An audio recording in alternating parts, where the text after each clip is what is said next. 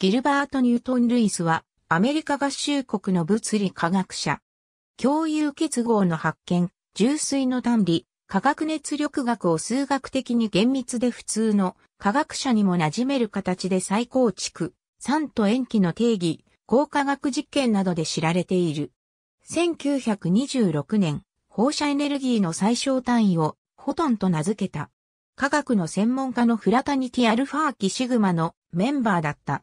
長く教授を務めたが、中でもカリフォルニア大学バークレー校に最も長く在籍した。マサチューセッツ州ウェーマスで生まれ育った。現在のウェーマスには GN ルイスウェイと名付けられた通りがある。ネブラスカ大学で3年学んだ後、ハーバード大学でセオドア・リチャーズに指示して博士号を取得。1年間ハーバード大学で講師を務めた後、ライプツヒで物理科学者、ビルヘルム・オストバルトに学び、ゲッティンゲンで物理学者、バルター・ネルンストに学んだ。ネルンストの研究室にいた頃両者の間に亀裂が生じ、生涯憎しみ合うようになった。ネルンストの友人、ビルヘルム・パルマーは、ノーベル化学賞選考委員だった。彼がその地位を利用して、熱力学でノミネートされた、ルイスのノーベル賞受賞を3度阻止した証拠がある。その後、ハーバードに講師として戻って3年間過ごし、1904年にフィリピンの科学局の度量工部門の管理者の職を得て、マニラに赴く。翌年マサチューセッツ工科大学に教職員として採用され、マサチューセッツ州ケンブリッジに移った。MIT では、アーサー・エーモスノイズ率いる優秀な物理、科学者グループの一員となった。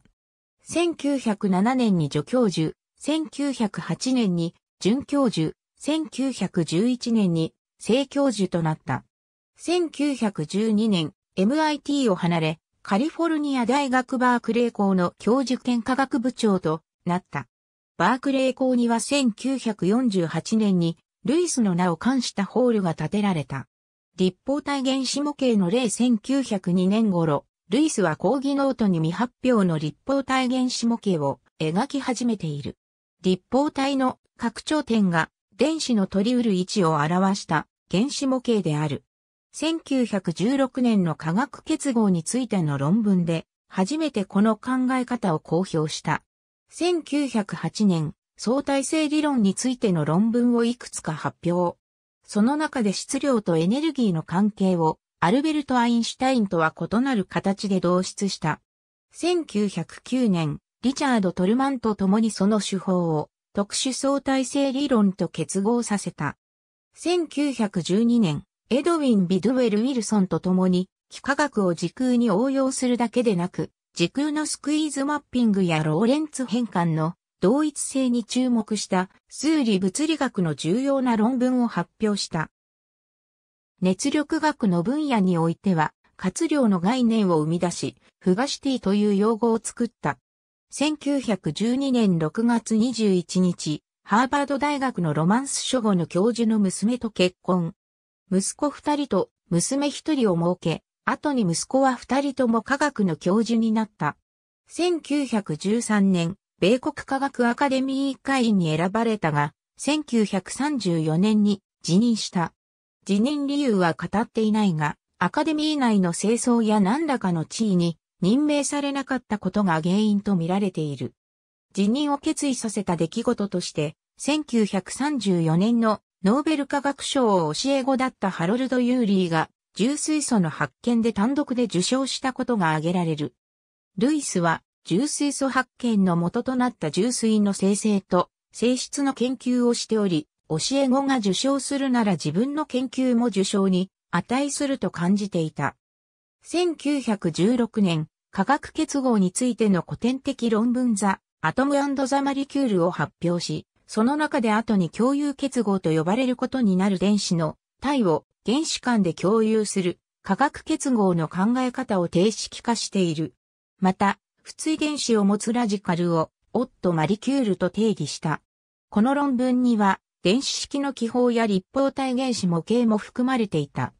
これらの化学結合についての考え方をアービング・ラング・ミューアがさらに発展させ、ライナス・ポーリングの化学結合の研究に着想を与えることになった。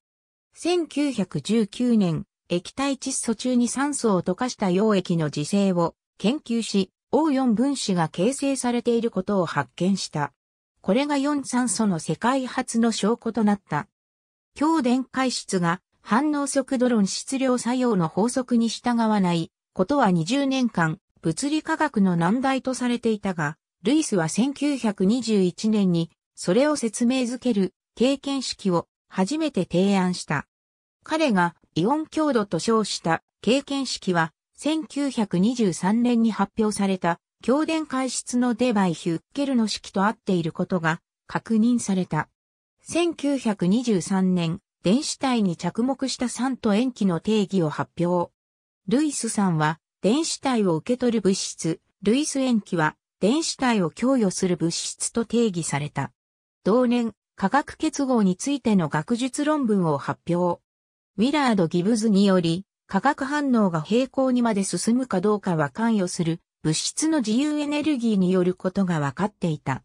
ルイスは25年の歳月を費やして様々な物質の自由エネルギーを特定していった。1923年、メルル・ランダルと共にその成果を発表。これが現代の化学熱力学の確立に大きな役割を果たした。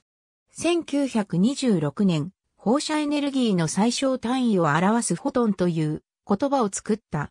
ネイチャー誌に送った手紙の中に記されていたのだが、その後の展開は彼の意図したものとは違っていた。手紙の中で彼はエネルギーの単位としてではなく構造要素として光子を提案し、光子数を新たな変数とする必要性を強調している。1905年にアルベルト・アインシュタインが提唱した光の量子論とは異なる理論だったが、フォトンという用語はアインシュタインが光量子と呼んだものと同義に扱われることになった。1933年、史上初の純粋な重水の生成に成功。重水中で生命が生存し成長できることを初めて研究した。アーネスト・ローレンスのサイクロトロンで徴用子を加速する実験を行い、原子核の様々な特性を研究した。また1930年代には後にノーベル化学賞を受賞したグレンシーボーグを指導した。これまでに挙げた以外にもルイスは様々な主題について論文を発表しており、光量子の性質から価格安定性のような経済学まで広範囲に渡っている。晩年には最後の教え子マイケル・カーシャと共に有機分子の輪行が三重光状態によるものだと解明し、三重光状態の時期特性を測定した。1946年、ルイスがバークレーの研究室で死んでいるのを大学院生が発見した。液体シアン化水素を使った実験をしていて、極めて毒性の強い気体が室内に漏れ出していた。検視官は死因を感情動脈の異常としたが、自殺だと信じる者もいた。バークレーの名誉教授、ウィリアム・ジョリーは1987年にバークレーの科学部門の歴史を描いたフロム・レトルッツ・ 2・ レーザーズを出版したが、その中で学部の上層部がルイスの死を自殺だと思っていたと記している。ルイスが亡くなった日、アービング・ラングミューアとレイスが昼食を共にしていたことをマイケル・カーシャが数年後に思い出した。ルイスとラングミューアは長年のライバル関係にあり、それはラングミューアがルイスの科学結合理論を発展させた頃から続いていた。ルイスが何度もノーベル賞候補と言われながら受賞を逃してきたのに対してラングミュアは1932年にノーベル化学賞を受賞している。昼食から戻ってきたルイスは暗かったという証言もある。彼が死んでいるのを発見されたのは、その数時間後だった。